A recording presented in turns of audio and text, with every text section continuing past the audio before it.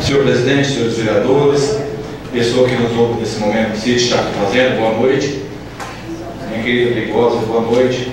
Do esposo Chicão, assistindo, nos ouvindo lá durante a rádio, boa noite para ele. Rombreiro, que sempre está presente na Câmara de Vereadores, os dias. Faça chuva ou sol, Rombreiro está aqui em nossa presença. Muito obrigado pela sua presença. Eu não quero agradecer a todos presentes aqui nessa comissão, na sessão da Câmara. Senhor presidente, eu gostaria de comentar hoje, eu estou só complementar é, a indicação que nós fizemos aqui é, este ano para reformar a praça poliesportiva D. Lá está abandonada, está brinquedos quebrados, é, alambrado, é bebedouro também. Nós fizemos indicação, eu quero que o prefeito, a, acho que a secretária de Educação, que faz parte daquela, dessa pasta, ou o secretário de Obras, que veja com bons olhos o mais rápido possível. Porque não só a população que frequenta lá, mas também as crianças que, das escolas que vão lá também, precisa dessa manutenção. E a outra indicação que eu vou fazer para a semana que vem é sobre um local para que os mototaxistas de Aparecida do Água tenham. Porque a maior parte desses mototaxistas que, que leva a população para várias partes da cidade, é preciso de um local para isso. Ou na rodoviária ou na Praça Três Maria.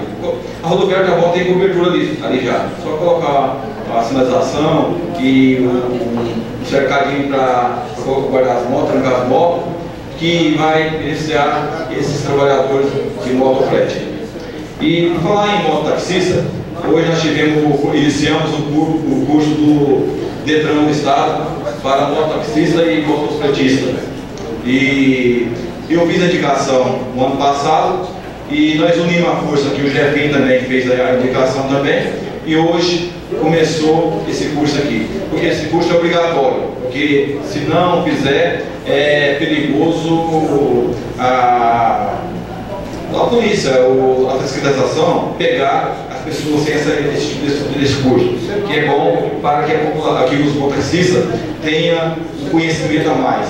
Se é lei, vamos cumprir. Então, quero agradecer ao prefeito e ao, ao Detran do, do Estado do Sul por atender essa nossa indicação. E por falar em indicação, é, vereador Rodrigo, nós tivemos. Por isso que é bom, é o seguinte: você sai daqui para buscar recursos em Brasília, Campo Grande, e graças a Deus, lá você tem já como objetivo de encontrar o senador Diocílio, por exemplo. Chega lá, nós encontramos o, o João Brandão, delegado do Ministério do, do, do Trabalho, da, da, Agricultura e Pecuária.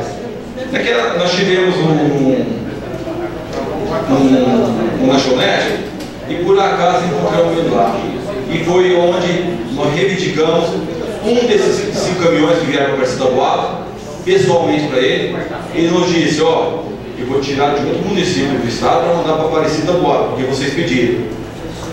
Isso é gratificante, porque é o respeito que nós, vereadores, temos lá em cima.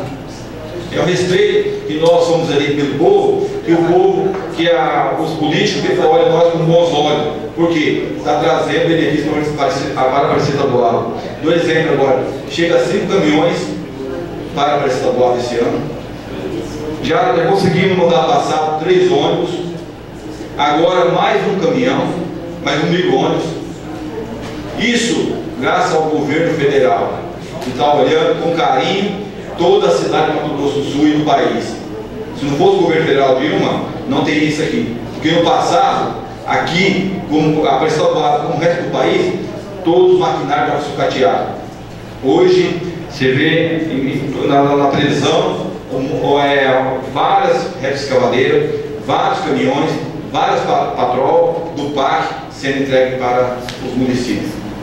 Então, isso é gratificante, porque nós corremos atrás.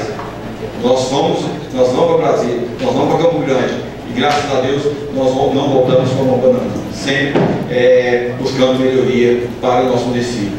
Essa semana, tem uma semana, eu tive o privilégio de receber minha residência, e o vereador Rodrigo também recebeu, o deputado Wando Alberto. É um deputado atuante, sempre investiu aqui em Aparecida do E uma das obras dele, que a gente gosta de alimentar aqui, é o bairro do, do Jardim Imperial 1 e 2, recapeado no mandato era vereador do, do ex-prefeito de Jalma.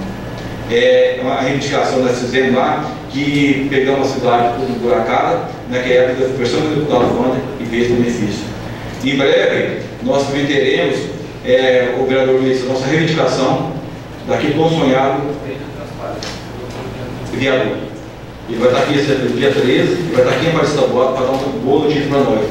Através do senador meu filho, nós conversamos com o Rony, assim, olha, nós vamos conversar com a eles, para que nós possamos é, sanar esse. Vai passar Jerico ou viaduto, pode assim, seja ali na estrada da vai passar o loteamento praia. Então, isso é importante, a nossa luta, a nossa parando, não vai reivindicar luz para todos, nós conseguindo, está finalizando. Nós, nós vamos buscar esses benefícios para a nossa cidade, estamos conseguindo, graças a Deus. Mas não podemos parar. Porque o povo, porque o seu voto né, em nós. E nós estamos fazendo jus à votação. Jus a população tanto merece, tanto carece de um, de um atendimento melhor. Para você ter uma ideia, o governo federal também está tá quase finalizando a creche aqui da Vila Pereira.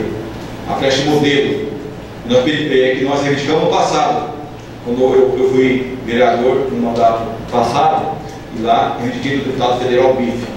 Não só a creche, consegui, consegui, consegui dele, mas também uma quadra coberta ao lado da escola João Chão.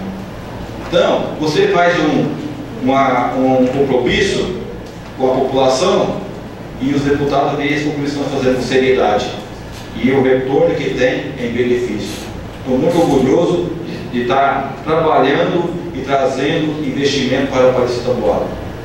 E outra coisa importante está, está chegando para esta Boada do meu mandato para cá, que nós vereadores indicamos muito isso aqui para a saúde. Já se torna 5 SF para cá. Tem mais dois sendo construídos aqui em Aparecida Boada. É a, é a que mais precisa, a população precisa é de médico. Está chegando. Cada bairro está tendo o seu SF.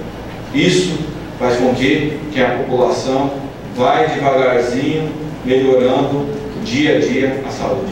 Então é isso, senhores e senhoras, que eu que falar essa noite e dizer que nós incansavelmente estaremos, estarei buscando recursos para a Palestra Muito obrigado.